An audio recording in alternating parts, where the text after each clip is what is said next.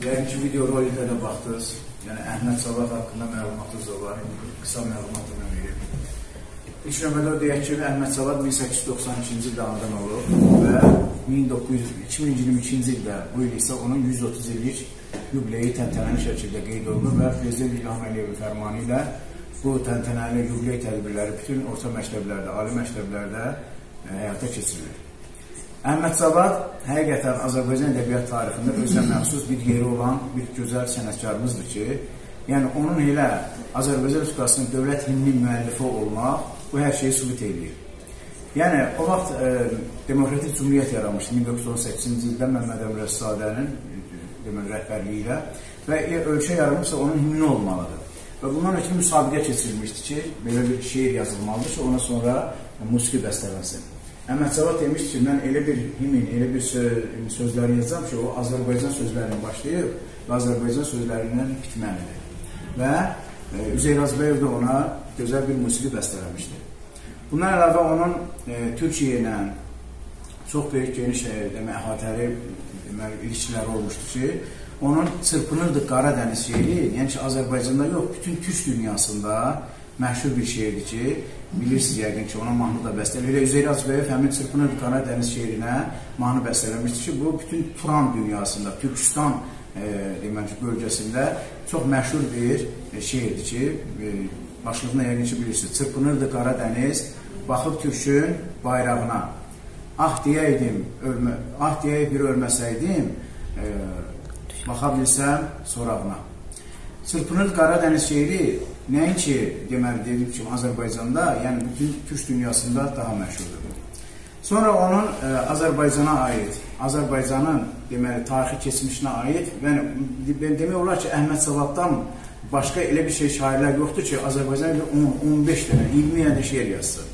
Məsələn, onun ayrı-ayrılıdır. Azərbaycan bayrağı, Azərbaycan, Azərbaycan, Azərbaycan, Can Azərbaycan, Azərbaycan elləri, Və bu formada onun çoxlu əsərləri var ki, bu əsərlər də 1918-20-ci illərdə, yəni Cumhuriyyət dövründə, Azərbaycan Demokratik Cumhuriyyətinin dövründə yazılmışdır.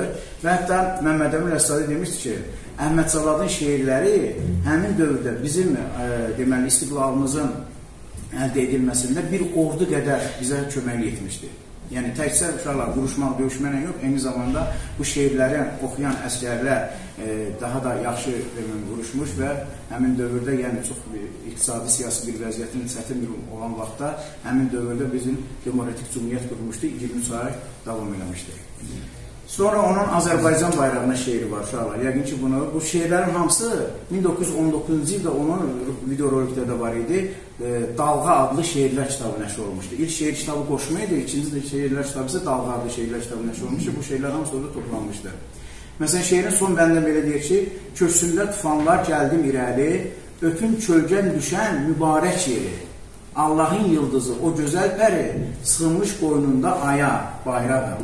Yəni, Bu şeirdə yazılıb 1919-cu ildə və ilk dəfə olaraq Əhməd Cavad Bakıda təsadüfən, deyək ki, harasa gedirdi, bir işə gedərkən e, parlament binasının qabağında Azərbaycan bayrağının, üç rəngli Azərbaycan bayrağı. Yəqin ki, məlumatda bilirsiniz tarixdəndir ki, yəni bizim ilk dəfə Cumhuriyyət dövründə 1908-də bayrağımız yəni üç rəngli olmuyor.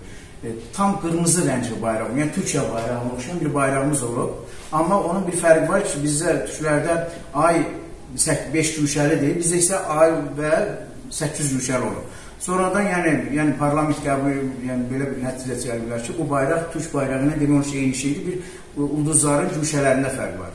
Ona görə 1919-cu ildə yeni bayrağın belə üçrəngli bayrağımız təsis olunub və parlament binasının qarşısına asılıb. Əhməd Cavad da bunu görüb və belə bir şeir yazıb və gözü şeirdə belə bildirildi ki, öpüm kölgən düşən mübarək yeri. Yəni mən bayrağın yerə gün vaxtında kölgəsi düşür də. Yəni mən o müqəddəsdir, o kölgəsi düşən yeri belə müqəddəsdir.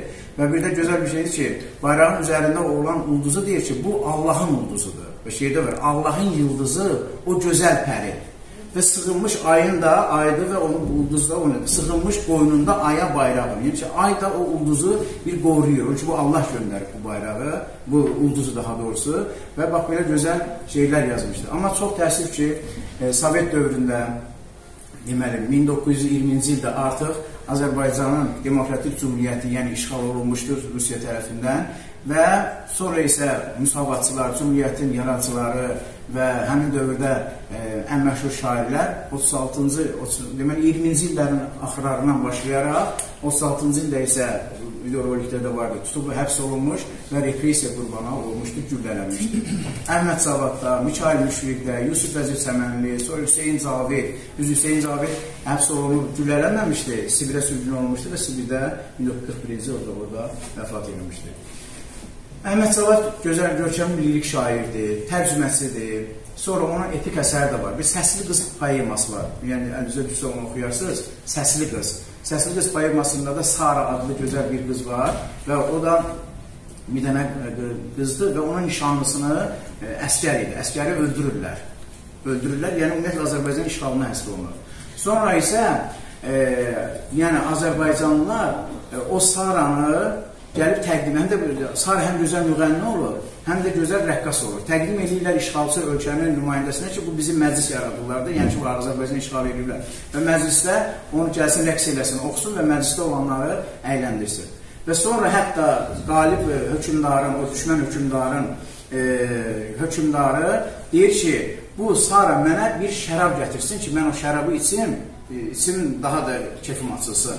Və bu fürsətdən istifadə edən Sara şəraba zəhər qatır və qalib hökümdara verir. Hökümdar içib bunu deməli ölür. Və hökümdarın ölməyi ilə, başçının ölməyi ilə e, şəhərdə deməli qarşılıq yaranır və hamısı qaçıb çıxıb gedir. Bir şey ölkəni tərk edib gedirlər. Deməli bir dənə qız bütün ölkəni işğaldan azad edir.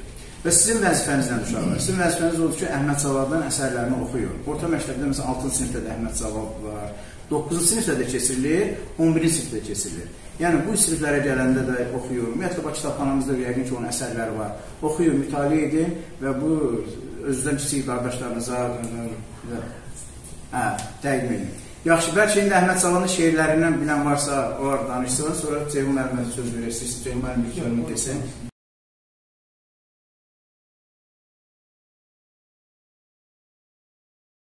Türkistan yerleri öpüp aldını, söylüyor derdini sana bayrağım. Üç rencin eksili kuzgun denizden, ermağa yollasın yara bayrağım. Kayhan soyundan aldığın renci, Kudamış Elhan'la Müslüman meci, Elhan'ın evladı dinin direği, Getirdin çölüme sefa bayrağım. Köksümdə tufanlar gəldi miləni, öpüb çöldən düşən müqəddəs yeri. Allahın yıldızı o gözəl pəri, sığınmış qoynuna, aya bayrağım. Dağa, daşa, sancağını öpdürüb, duman kimi bu dağlar bürüdün. Dənizlərə salam rəsmi yapdırıb, göylərdəki bulut kimi yürüdün. Baş əydi bax toplarının səsinə, yad ellərin yıldırımı, şimşəyi, quzğun kimi qurumağa başladı. Səni görən cəlladların biləyi. Arslan kimi saldırdığın düşmana, ər oğlu ər olduğunu göstərdin. Fələk bugün uyğun sana diyor ki, Türk askeri, sən böyle mi istərdin? Yürü, yürü batan günün izinə, gülümsəyir doğan günəş yüzünə. Dağlarının başı qarlı, sinəsi yaşıl ormanlı, dərələrin şirin barlı, Azərbaycan, Azərbaycan, səhraların sümbüllüdür, iç mudam üstü güllüdür, bağçaların bülbüllüdür, Azərbaycan, Azərbaycan, durna gözlü bulaqların, cənnət kimi yaylaqların, geniş geniş oymaqların Azərbaycan, Azərbaycan.